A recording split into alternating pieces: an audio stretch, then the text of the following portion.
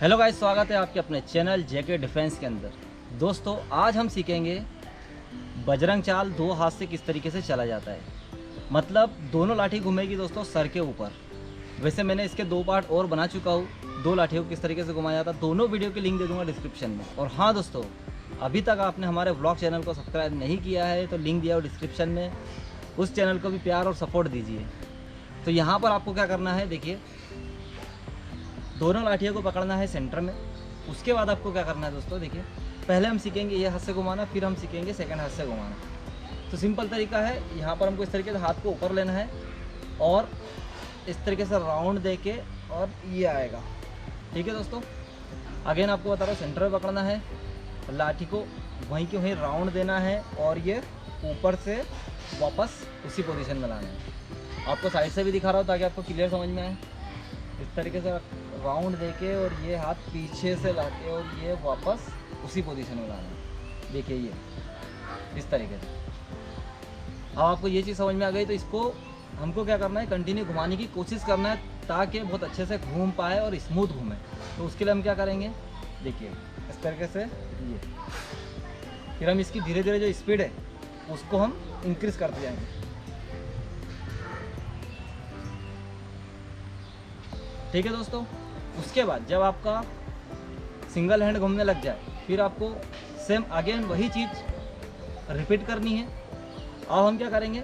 इस हाथ से घुमाना सीखेंगे। ये। ठीक है दोस्तों? देखिए। और मैं धीरे धीरे बता रहा हूँ, ताकि आपको क्लियर समझ में आए। देखिए।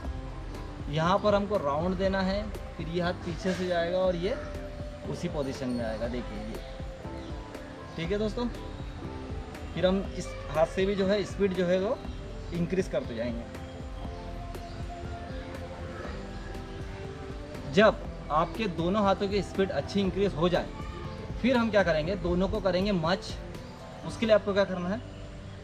सिंपल हम इस तरीके से खड़े हो जाएँगे। अब हमको दोनों हाथ ऊपर लेना है और दोनों को एक साथ राउंड करना है और ये दोनों पीछे से एक साथ वापस आएगी। देखिए, यहाँ पर लाठी जो है वो एक दूसरे को क्रॉस करेगी। इस तरीके अब ये याद रखना है आपको कि ऐसा ना करे ताकि टकरा जाए। तो दोनों में थोड़ा सा हल्का सा डिफरेंस रख के और फिर हम इस तरीके से घुमाएँगे।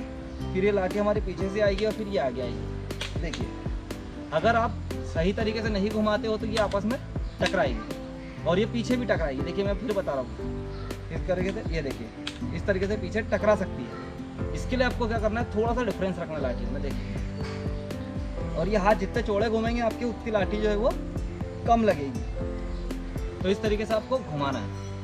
अब आपको बता रहा हूँ, दोनों में क्या चीज़ें आपको ध्यान रखनी है। कि लाठी जो है वो आपस में टकराना नहीं चाहिए। उसके लिए सिंपल तरीका है कि हाथ जो है उसको दूर रखो। अब आपको क्या करना है, दोनों को इस तरीके से हम लाठी को जो है वो घुमा सकते हैं। और इसको बोला जाता है दोस्तों, बजरंग चाल चलना। तो ये काफ़ी अच्छी घूमती है और बहुत अच्छी लगती है दोस्तों, जब हम मार्केट में परफॉर्म करते हैं। अब मैं आपको दिखाता हूँ कि दोनों लाठी जब स्पीड में घूमती है तो कितनी अच्छी लगती है।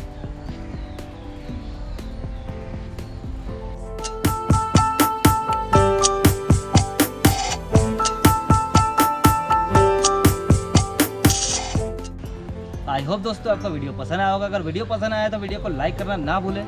और हाँ दोस्तों, चैनल को अगर अभी तक आपने सब्सक्राइब नहीं किया है तो चैनल को कर ले सब्सक्राइब फिर मिलते हैं एक और धमाकेदार वीडियो के साथ। तब तक के लिए Bye bye.